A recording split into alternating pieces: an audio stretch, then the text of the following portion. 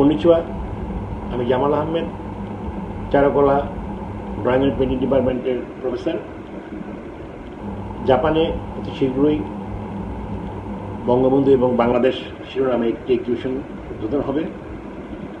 জাপানের কাহাল গ্যালারি বঙ্গবন্ধু জনশতবার্ষিকী উপলক্ষে একটি প্রদর্শনীর আয়োজন করে। সেই প্রদর্শনী বাংলাদেশ শিল্পীদের জন্য বিশাল ভূমিকা রাখবে আমি মনে করি। তাই আমি আশা করছি আমাদের দেশের শিল্পীরা যেন এই প্রদর্শনীতে অংশগ্রহণ করে। আমি এই প্রদর্শনীর সাফল্যতা কামনা করছি। সায়নরা।